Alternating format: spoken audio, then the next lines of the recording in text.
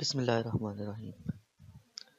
دنیا میں نو ہی ایسے مالک ہیں جن کے پاس جوہری ہتھیار یعنی نیوکلیر ویپن ہیں اور پاکستان بھی انہی مالک میں سے ایک ہے آج کی ہم اس ویڈیو میں جانیں گے کہ پاکستان کیسے نیوکلیر پاور بنا۔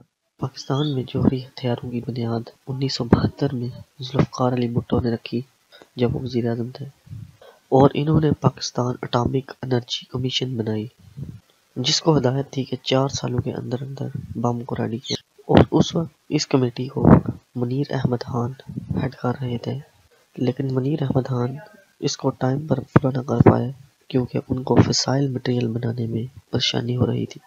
فسائل مٹیریل وہ مٹیریل ہوتا ہے جو نیوکلیر چین ریاکشن کو کو سسٹین کرتا ہے۔ تو بھٹو نے انیس سو چورہتر میں عبدالقدیر خان کو پاکستان بلایا۔ فسائل مٹیریل کے بغیر نیوکلیر بام امپاسبل لہذا اس کے لیے کوہوٹا پروجیکٹ شروع کیا گیا، جس میں اے جی این قاضی غلام اسحاق خان اور آغا شاہی موجود، جو ڈائریکٹلی بھٹو کو رپورٹ کرتے تھے۔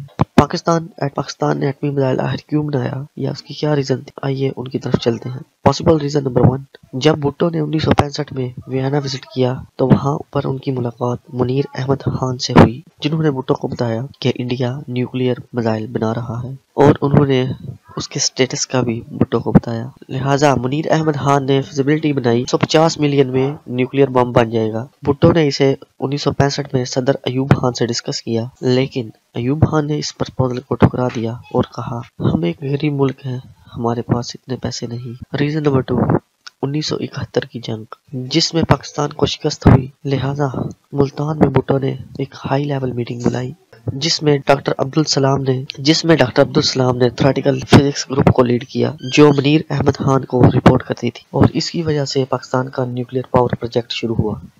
ریزن نمبر تھری انڈیا نے اپنا نیوکلیر پروگرام انیس سو ستاسٹھ میں شروع کیا اور پاکستان کی آرمی اس وقت انڈین آرمی کے سامنے ویک تھی اور اس کی وجہ سے پاکستان کا نیوکلیر پاور پروجیکٹ شروع ہوا اور پھر انڈیا نے انیس سو چوہتر میں اپنا فرسٹ نیوکلیر بام ٹیسٹ کیا۔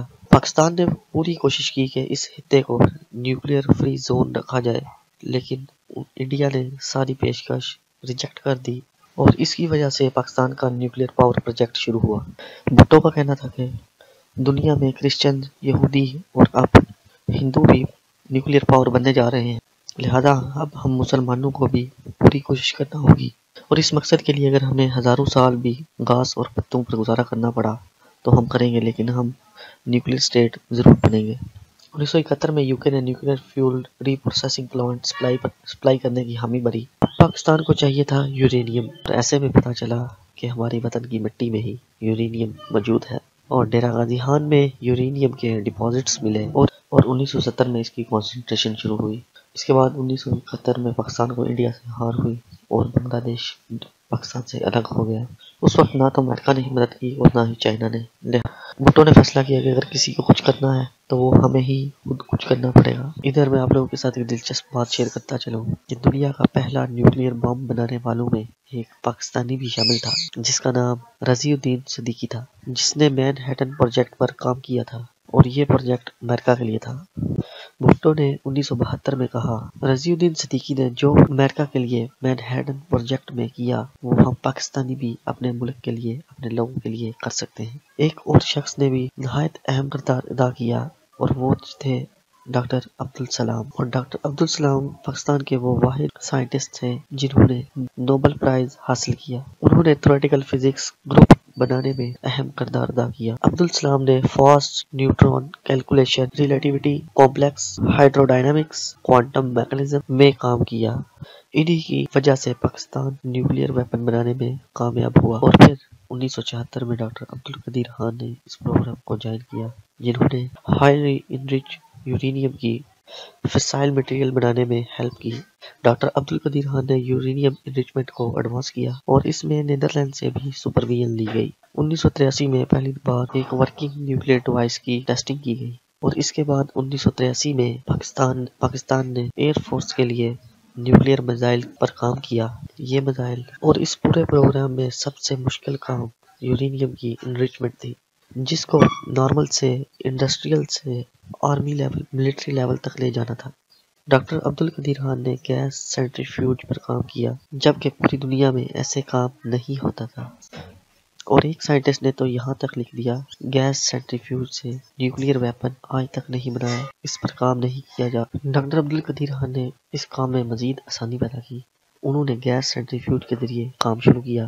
جبکہ پوری دنیا میں اس طریقے سے کام نہیں ہوتا تھا۔ ڈاکٹر عبدالقدیر خان کی اس کوشش کے بعد ایک انٹرنیشنل سائنٹسٹ یہ لکھنے پر مجبور ہو گیا کہ دنیا نے آج تک اس میتھڈ کے ذریعے نیوکلیر ویپن پر کام نہیں کیا اور اس میتھڈ کے ذریعے کام کرنے کا پورا کریڈٹ صرف اور صرف پاکستان کے سائنسدانوں کو ہی جاتا ہے، جن میں ڈاکٹر عبدالقدیر خان سیر فہرست ہیں۔ کیونکہ اس میتھڈ کے متعلق سائنٹسٹ کی یہ رائے تھی کہ یہ میتھڈ کبھی کام نہیں کر پائے گا، لیکن پاکستان کے ذہین سائنٹسٹ ڈاکٹر عبدالقدیر خان نے اس کو پاسبل کر دکھایا اور اس کے ذریعے انہوں نے اپنے نیوکلیر ویپن بنانا شروع کیے۔ جب دنیا کو ڈاکٹر عبدالقدیر خان کے اس پروسیس کے بارے میں پتا چلا تو وہ لوگ تو ان لوگوں کا کہنا تھا کہ پاکستان صرف اور صرف اپنا ٹائم ویسٹ کر رہا ہے اور کچھ نہیں۔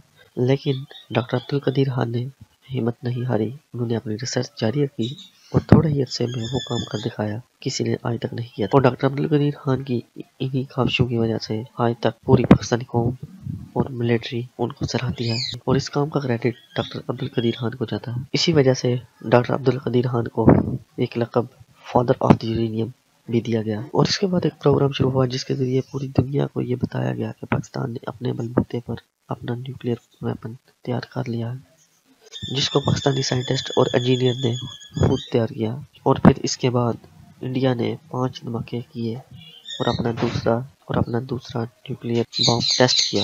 اس کے بعد پاکستان کا پریشر مزید بڑھ گیا، لیکن پاکستان نے بھی اسی مہینے میں اٹھائیس مئی نائنٹین نائنٹی ایٹ اپنا فرسٹ نیوکلیر ٹیسٹ کیا۔ اور پاکستان نے بھی اپنی پانچ devices Charlie one, two, three, four اور چارلی فائیو ٹیسٹ کی۔ تیس مئی کو ایک اور نیوکلیر ٹیسٹ کیا گیا۔ اور یہ بہت زیادہ سکسیسفل ثابت ہوا۔ 1999 میں نواز شریف نے بیان دیا کہ پاکستان کا نیوکلیر پروجیکٹ انتہائی سیف ہاتھوں میں ہے اور اس کو لیک کرنا یا پھر چوری کرنا۔ نہایت ہی مشکل ہے۔ ڈاکٹر القدیر خان نے بھی پاکستان کی نیوکلیر سیکیورٹی کو نہایت ہی سراہا ہے۔ موجودہ رپورٹ کے مطابق پاکستان کے پاس 130 سے 140 نیوکلیر میزائلز موجود ہیں۔ آج کی اس ویڈیو میں پہلے جتنی بھی آپ کے ساتھ انفارمیشن شیئر کی، یہ اویلیبل ریسورسز سے میچ کرتی ہے پہ بیس کرتی ہے اور اس میں چینجنگ ہو سکتی ہے لیکن یہ بات بالکل کلیئر ہے کہ اس نیوکلیر پاور پروجیکٹ کا کریڈٹ ذوالفقار علی بھٹو کو جاتا ہے۔ اس پروگرام میں بہت سے لوگوں نے کام کیا جن کی فہرست بہت ہی طویل ہے۔ لیکن سر فہرست منیر احمد خان، ڈاکٹر عبدالسلام، ڈاکٹر عبد القدیر خان۔ امید کرتا ہوں کہ آپ لوگوں کو میری ویڈیو پسند آئی ہوگی۔ مزید اسی طرح کی انفارمیٹیو ویڈیو کے لیے ہمارے اس چینل کو ضرور سبسکرائب کیجیے گا اور اس ویڈیو کو زیادہ سے زیادہ شیئر اور لائک کیجیے۔